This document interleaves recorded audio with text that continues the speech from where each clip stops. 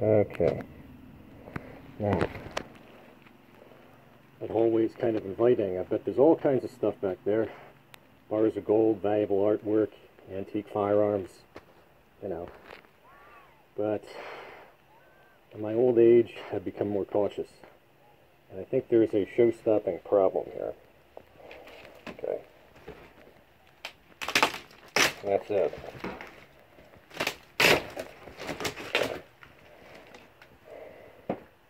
If I fell through there, I mean, it looks like there's about another 12 feet to fall.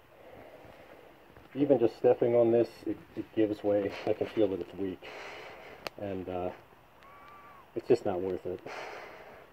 I'm here by myself. I mean, if I fell, even if I didn't get killed, if I just got hurt, I might not be able to call for help.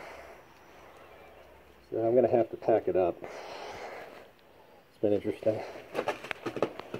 You gotta know when to quit.